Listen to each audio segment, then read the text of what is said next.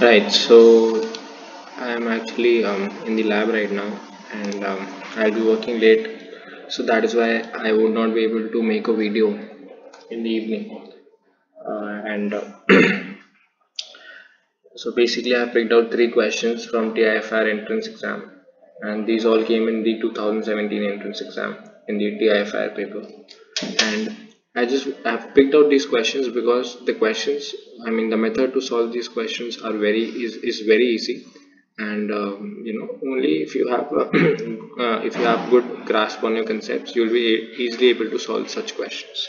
So now let's look at this first question. We have lithium aluminum hydride. So in uh, so lithium aluminum hydride plus this uh, uh, tetra, quaternary quaternary ammonium salt in presence of toluene what kind of product does it give? So, so we have to write down all the kind all the byproducts along with the product for this particular uh, reagents. Now lithium aluminum hydride you write it as Li plus and Al H4 minus. Okay? And this triethylamine uh, I mean uh, sorry not triethylamine uh, this quaternary ammonium salt you write it as NH3 NH3 ET okay. And then there's a positive charge on the nitrogen. And this is stabilized by chloride minus. So they have framed the question smartly. Over here they haven't shown the charges. If you see this molecule they haven't shown the charges. So if, if you if you look carefully uh, four, there are four bonds with this nitrogen. So there is a positive positive charge on the nitrogen. And we have Cl minus okay stabilizing it. And so the first thing is aluminum hydride. Lithium aluminum hydride is a hydride donor you all know okay? So it will donate H minus. It is going to donate H minus. Now this H minus will what will it do is this H minus will attack the most acidic proton this H minus will attack the most acidic proton. Now in this case, in this particular case, there is nothing to reduce. So it is going to attack the most acidic proton. Now the most acidic proton is this proton. The hydrogen attached to the nitrogen is the most acidic proton. So this H minus is going to attack this nitrogen. So if I draw the structure for nitrogen, uh, we have three hydrogens. Okay. We have three hydrogens and we have this ethyl group. Okay and positive charge which is stabilized by chloride minus. So this H minus is going to abstract one of the hydrogens and we'll get uh, H2 so one of the products will be H2 the second product is now this uh, hydrogen donates the electrons back to the nitrogen. Now nitrogen is not positively charged it will be neutrally charged so now we have um, uh, just a second.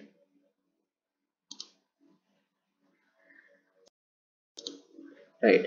So um, now along with this we have NH2ET so this will give us NH2ET now the nitrogen is neutral. It is not positively charged because it has now three bonds. Now what is going to happen is this lithium plus and this Cl minus will interact and form an ionic bond and it will be precipitated out as lithium chloride LiCl. The solvent over here is toluene. Now toluene has no role to play because it is a aprotic solvent. What I mean by aprotic solvent? It means that uh, I mean there is no ionizable hydrogens present. There is no acidic hydrogen present in toluene. So it, it will not react in the it will not react with the reagents the, the given reagents. So we got LiCl and we got H2 now what is left is NH2ET and along with that once from AlH4 minus we took out a hydride ion uh, hydride H minus. Now it is left as AlH3 okay? It is left as AlH3 now what is going to happen is now this AlH3 is electron deficient right? Because aluminium has only 6 electrons in its octet. Whereas if you look at NH2ET this NH2ET has lone pair of electrons. This nitrogen over here has lone pair of electrons. So this AlH3 is electron deficient and this NH2 has lone pair of electrons. So they will interact and they will form a co uh, coordinate bond. So we have NH2 and uh, we have ethyl. Okay. This will form a coordinate bond with uh, with ALH3 so you can show it like this. This forming a kind of like a complex with ALH3 so this these are the three products that we have. H2 LiCl and NH2ET ALH3 like this you can show so this is the answer. So you know just by going with the general flow of the concepts you can easily predict the answer. Now let's move, move on to the next question. The next question is a compound with molecular formula C5H12O2 has strong IR absorption at 3300 to 3400 centimeter inverse. The proton NMR spectrum showed three singlets at 0.9, 0.345 and delta 0.9 3.45 and 3.2 ppm with relative areas 3 is to 2 is to 1 okay now the first thing that i tell you is whenever you look at the nmr spectra and those of you who are following my videos you will know that it shows three singlets so first of all the, the you write you see the proton nmr now the proton nmr shows three singlets so there are three different protons and they all are giving singlets in the ratio 3 is to 2 is to 1 so you first work on this particular example only okay? We, we, we will need rest of the data when we cannot solve the question with the help of proton NMR. So always go for the proton NMR first. Now if we look at this compound 1,5 one, pentane diol. So we have 1,5 pentane diol okay? So CH2 CH2 ch2 okay? And uh, ch2 1 2 3 4 5 this is our compound with OH on the both the ends. 1 5 pentane diol. This is us this is our compound. So if you see do we have three different protons? Yes we have three different protons. One is this OH proton. This is a symmetrical molecule right? So these protons will give the same signal. Then we have two hydrogens. This hydrogen over here and this hydrogen over here will give the same signal and these two hydrogens will give the same signal. But this CH2 will give a different signal. So we have one signal for this OH one signal one signal for this hydrogen 2 one signal for this hydrogen 3 and one signal for this hydrogen 4 so there are four different signals that we'll get. But according to the proton NMR spectrum there are only three singlets being observed. And plus it will not be a singlet because this will be split into a triplet. As this will be split into a pentate we have two hydrogens over here and two hydrogens over here. So it will never be a singlet. So this is not the right answer. You can cancel this out the first option. Let's look at the second uh, fourth option. 2 4 pentane diol okay? So the same compound if i'll draw ch2 uh, we have a ch3 uh, sorry I'll draw it over here. CH3 2,4 pentane diol right? CH CH2 CH2 and 1 2 3 4 5 CH3 and we have OH over here right? And one OH over here. Now again if you look at this compound this, there is only one hydrogen over here sorry. Now if you look at this compound again you cannot get three singlets because this proton will this will be split into a doublet. This will be split into a sextet six lines because we have three hydrogens over here and two hydrogens over here five. So it will split, split into a sextet. You do not consider this OH because OH is a ionizable hydrogen. So you do not consider the splitting of this OH and along with that you see um, so we are definitely not getting three singlets. So this is also not the right answer right? Now let's look at 2,2 dimethyl 1,3 propane diol. Okay 2,2 dimethyl 1,3 propane diol. So if I draw the structure for this um,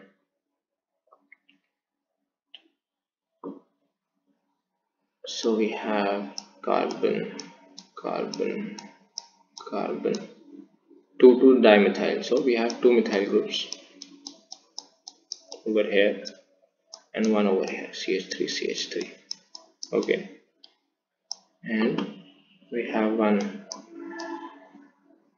OH and one OH over here. So this is 2 2 dimethyl 1 3 propane diol. This is the structure. And we have uh, two hydrogens over here and two hydrogens over here.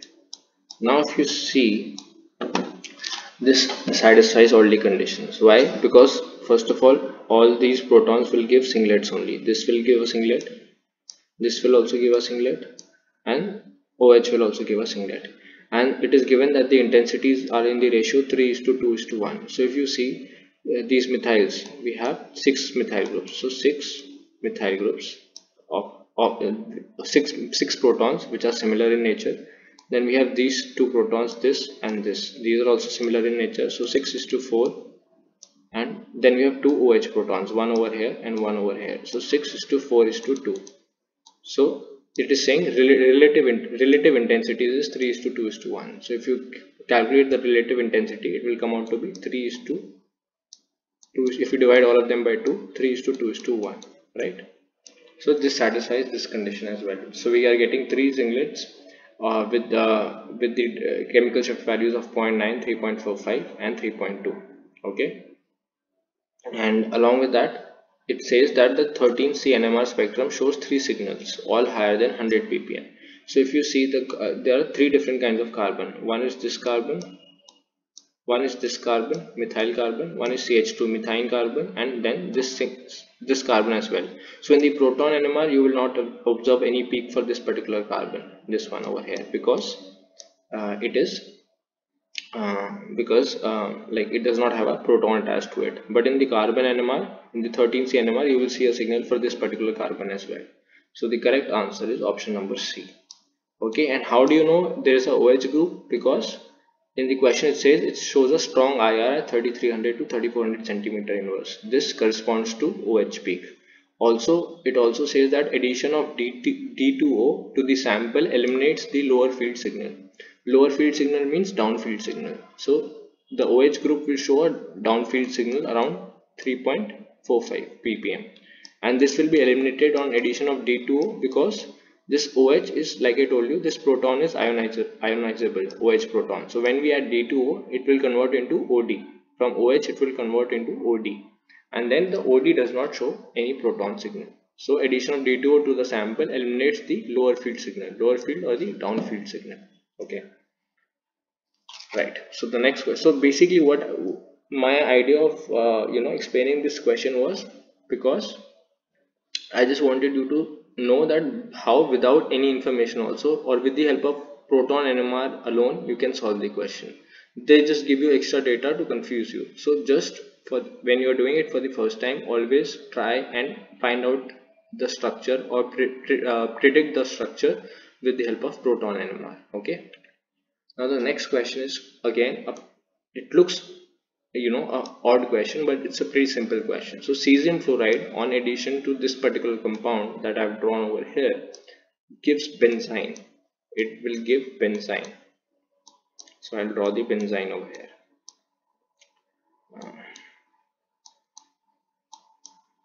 so addition of cesium fluoride this is a very popular reaction and it is used in synthetic organic chemistry a lot.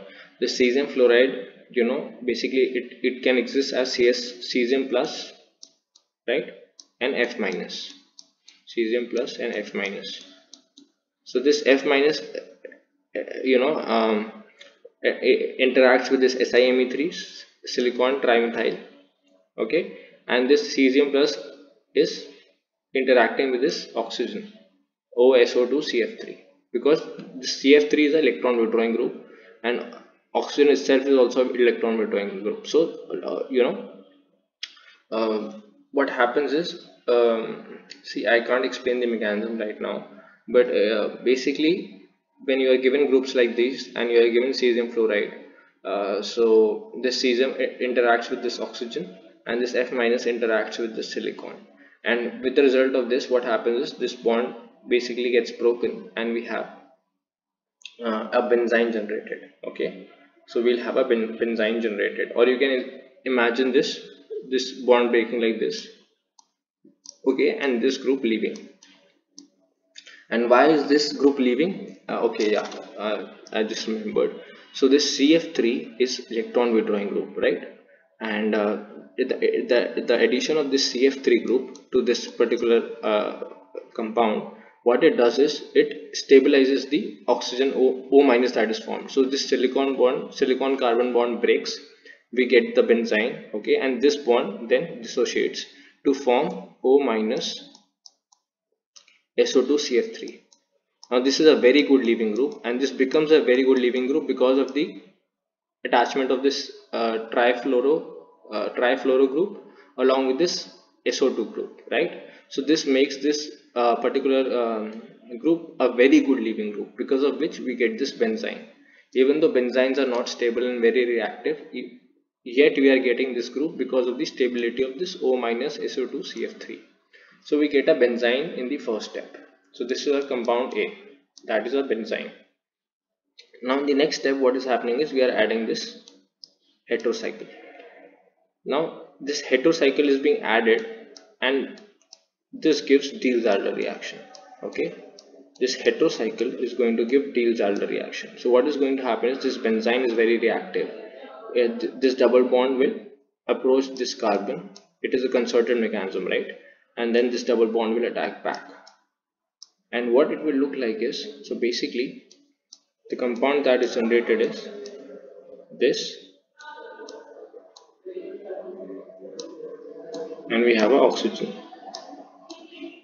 this is the compound. So like a norborane we have a norborane right like write this.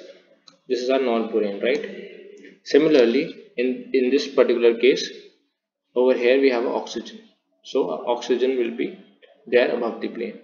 And if you can if you draw the 2d structure for this uh, molecule it will look something like this.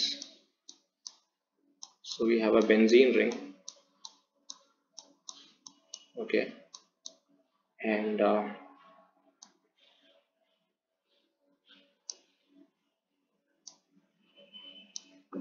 we have another ring. Okay. With this oxygen above the plane. So it will show it with a bold bond oxygen and then like this. So this is going to be the product. Right uh, I mean I it was just this is not the correct structure this one. This one that I have drawn is not the correct structure. It is just a visualization so that you can understand what is going to what is what is happening right? Uh, anyway so this is the correct structure. So this benzene uh, undergoes Diels-Alder reaction with this heterocycle where this bond approaches this bond and then this bond approaches this bond like that. It's a concerted mechanism that is taking place and once this happens now we have a double sorry I missed out a double bond. We have a double bond here as well. Okay? And uh, once this takes place we get our product which is this molecule over here. So you can see the, the, the questions that are asked are pretty, pretty uh, very simple pretty simple. And uh, I guess you know if your concepts are good if you have done uh, even a little bit of hard work you'll and you apply your mind you'll be able to solve questions from TIFR okay